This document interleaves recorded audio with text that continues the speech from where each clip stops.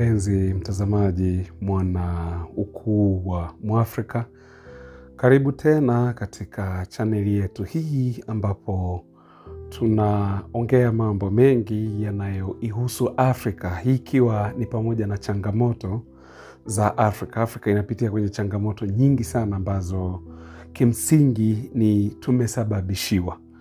Kwa nini? Kwa sababu nataka niangalie hapo Kongo, katika taifa la ndugu zetu hapo Kongo, na ukumbuke Manyang'au wanajua siku Kongo ikiwa huru Afrika imekuwa huru, kwa sababu ndizo zilizokuwa ndoto za kina Patrice Emery Lumumba miaka 1960 lakini kwa bahati mbaya sana Manyang'au wakamuua Patrice Emery Lumumba, ila wakaacha vibaraka wao kama wakina Joseph Kasavubu aliyekuwa rais wa kwanza wa Kongo, ambaye huyu alikuwa ni puppet wa Ubelgiji, lakini baadaye akaja akaingia Mobutu Sese Seko Kuku Bengu wa Zabanga akidai kuwa wanasiasa wameifikisha Kongo hapa ilipofika, na ndio maana hakuna maendeleo, naye akafanya mambo mabaya kuliko wanasiasa aliyokuwa na walaumu. Matokeo yake Kongo ikabaki pale ilipo, na hivyo Kongo imeendelea mpaka hivi tunavyoongea. Kongo haiwezi kusimama tena, kwa sababu kumbuka kuwa uh, uh, hakuna simu ya iPhone bila uh, uh, um, yes, niseme pasipo Kongo au bila Kongo hakuna kitu kinajulikana kama simu ya iPhone au hakuna kitu kinachojulikana kama laptop au hakuna kitu kinachojulikana kama betri. Lakini nenda kaangalie Kongo, kuna vita na Waafrika wamekuwa programmed kichwani E, waweze kujua tu zaidi sana ya mambo yanayoendelea huko Mashariki ya Kati na mambo yanayoendelea Ulaya Mashariki, lakini hawajui kinachoendelea ndani ya Afrika. Hawajui ubaya gani ulioko ndani ya Afrika, hususani hapo Kongo. Ni watu zaidi ya milioni sita ambao wameweza kuaga dunia, ambao wameweza kufa tangu mwaka 1996 na, na, na haya yote walioyasababisha ni watu wa magharibi kwa ajili ya kupora madini yaliyoko pale katika taifa la Kongo, na Kongo inavuja damu. Kongo. Kongo inavuja damu, na Afrika iko tu, Waafrika wamegawanyika. Waafrika hawataki ku kuungana, kwa sababu kumbuka, hata simu yako hiyo ya mkononi iPhone ulionayo, wedha una laptop au na kifaa chochote kinachotumia betri au simu yoyote ile inayotumia betri, basi kumbuka, angalau umeshika damu ya wakongomani mikononi mwako. Nikiongea hivi siongei kuwa usitumie, hapana, ila ninachojiuliza ni kuwa ni vipi kama Kongo ingekuwa imepata viongozi ambao viongozi hawa watasema hapana kwa haya yanayoendelea. Most of the leaders ambao wanaingia Kongo wanakuwa ndio watu wanakula na Manyang'au wanakuwa ndio watu ambao wanaendelea kuwapa mali manyang'ao. Ndo juzi hapa umesikia hii serikali ya Felix Tshisekedi ikiwa inataka kufungua kesi dhidi ya kampuni ya Apple. E, yani angalau sasa Tshisekedi angalau ndo ana, ana, yani nafikiri mnanielewa nikisema hivyo, angalau anajionaona angalau eh, kuwa hapa hiki kitu kinachoendelea, sijasema kuwa naye ni mzuri sana, lakini angalau mpaka hivyo kama anaweza kusema kuwa nataka nifungue kesi dhidi ya kampuni ya Apple, kwa sababu kumbuke iPhone unayoitumia wakati unaenjoy unasema sijui macho matatu sijui iPhone uh, 14 sijui 15 Pro Max, angalau umeshika damu ya Wakongo mikononi mwako, angalau umeshika uhai wa Wakongomani mikononi mwako, kwa sababu Kongo kwa kadiri isivyotulia ni kwa sababu ya rasilimali zilizoko pale hapo katika taifa hili, taifa la Kongo. Kwa hiyo manake hiyo hiyo ndio maana halisi, na naomba hapa nikuambie kitu kimoja. Uh, kama sio madini ya coltan hakuna kompyuta wala smartphone. Kama sio madini ya coltan hakuna kompyuta wala smartphone, na madini haya ni kutokea kwenye taifa la Kongo ambalo ndugu zetu wa Kongomani wanaendelea kuvuja damu kila kunapoitwa leo. Juzi hapa mmesikia Wakongomani milioni saba wamekuwa displaced, yani hawana makazi. Ni watu ambao sasa watahangaishwa, huku vita vitoke huku viende huku, vita vitoke huku viende. Lakini Waafrika wengi tuko bizi na vita vya Ulaya Mashariki na vita vya Mashariki ya Kati, ila huku kwetu Afrika haya huwa hatuyaoni, kwa sababu hii hii coltan, kama sio coltan hakuna smartphone, lakini kama sio cobalt, cobalt hakuna batteries. Maana yake cobalt ndio inatumika kwa nini? Kwa ajili ya matengenezo ya betri zote.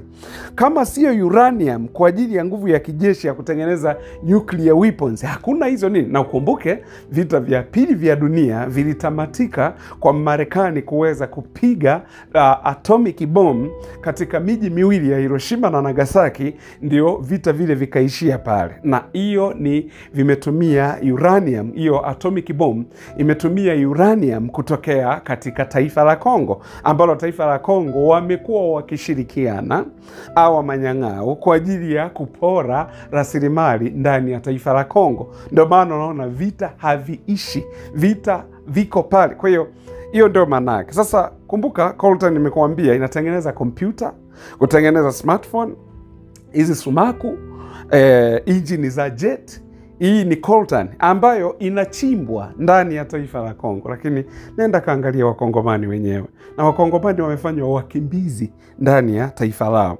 Lakini cobalt pia vilevile vile, kama nilivyokuambia kuwa hii ni kwa ajili ya nini? Kwa ajili ya batteries. Hizi betri, iwe betri ya simu, iwe betri ya kompyuta, ziwe betri za iPad. Mtu unaposema unapoenda dukani ase betri yangu ya simu imeisha, kumbuka ni madini kutokea Kongo, na kumbuka tunavyofanya hivyo au tunavyotumia hivi vifaa, basi angalau tumeshika damu za ndugu zetu mikononi mwetu. Hata mimi mwenyewe na simu hii hapa angalau basi umeshika damu ya Wakongomani yeah? Yani iko namna hiyo. Haya, uranium kama nilivyokuambia, eh, uranium hasa ndio inatumika kwa nguvu za kijeshi kutengenezea nuclear weapons. Kumbuka kama nilivyokueleza kuwa Hiroshima na Nagasaki vita vilitamatishwa kwa bomu la atomic bomb ambalo lilipigwa na Marekani katika hiyo miji, lakini ni kutokea wapi? Ni kutokea hapo katika taifa la ndugu zetu hawa Wakongomani, ambao leo hii kila kukicha wamekuwa ikiwa hivyo, wanaingia kwenye kambi za za wakimbizi, yani watu wako wakimbizi ndani ya taifa lao wenyewe, kimbia kwenye kambi hizi za wakimbizi, alafu mwisho wa siku naambiwa wanasajiliwa ili wapelekwe katika mataifa mengine huko, waende wakawe wafanyakazi. anakuta akili nyingi sasa za kwa sababu ya vita, kwa sababu ya ile uh, hakuna ile amani ambayo inapatikana instabilities. Kwa unakuta jambo la msingi ni kuwa hata mkongomani mwenyewe akili yake inakuwa imeprogram kuwa akitaka maisha mazuri inabidi atoke ndani ya Kongo aende nje ya nchi. Sasa swali ni kuulize kitu kimoja, kama mataifa yetu ya Afrika yangekuwa yanajielewa, mfano tu hata taifa letu la Kongo kama lingekuwa linajielewa, it means tunapoongelea simu iPhone hizo, tunapoongelea batteries mbalimbali, tunapoongelea engine za jets, tunapoongelea nguvu kijeshi, mambo yote haya yangekuwa Kongo kama vile ambavyo Urusi ilivyo kwa sababu Urusi ukumbuke, na yenyewe pia vilevile ina rasilimali zote ndani ya Urusi. Lakini angalia pale Warusi kitu wanachokifanya, manake kutumia zile rasilimali, ndio maana unaona imekuwa ni super power. Wanaweza kutengeneza nuclear weapons, wanaweza wakatengeneza silaha za kila aina, risasi, wakatengeneza magari ya kivita, wakatengeneza mandege, wakatengeneza kwa sababu ya rasilimali walizonazo. Njoo sasa Afrika kwa ndugu zetu, lakini viongozi wa Afrika wako bize kwenda huko kwa manyang'au, kwenda kuwaomba manyang'au misaada,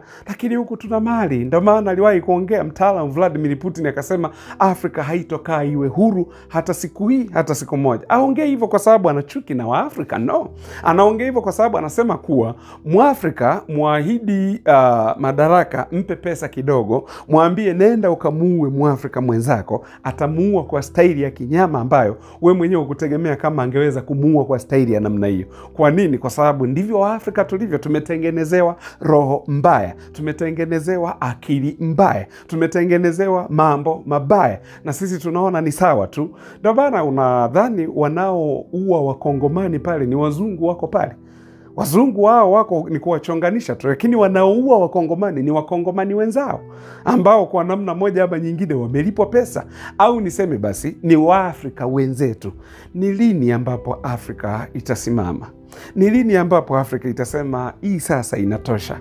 Ni lini ambapo Afrika itasema enough is enough, njoni tufanye biashara? Nakumbuka aliwahi kuongea huyu rais wa Kongo huyu Felix Tshisekedi kwenye Umoja wa Mataifa, nafikiri mtakuwa mnakumbuka vizuri, aliongea akasema, hatuhitaji unyonyaji, lakini tunachohitaji hitaji watu waje wafanye biashara, tufanye biashara, sio unyonyaji, exploitation ambayo imekuwa ikifanyika. Basi nyonya alafu ubaki hivi, lakini unamnyonya mtu alafu unaendelea kuua watu.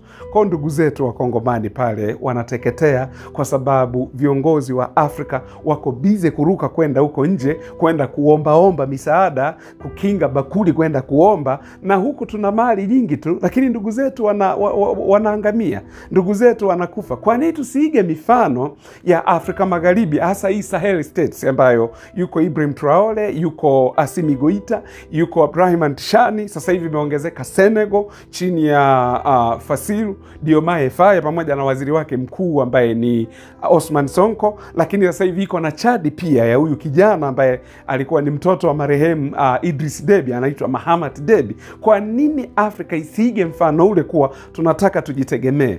Lakini wakati Ibrahim Traore anapiga marufuku uh, IMF kuleta misaada yao kwa sababu anajua ina mitego, kuna viongozi wengine wako bize kwenda kuomba huko na kupewa misaada kibao. Ndo Afrika hii haiwezi kawa huru. Ndo maneno ya Vladimir Putin aliyoyaongea.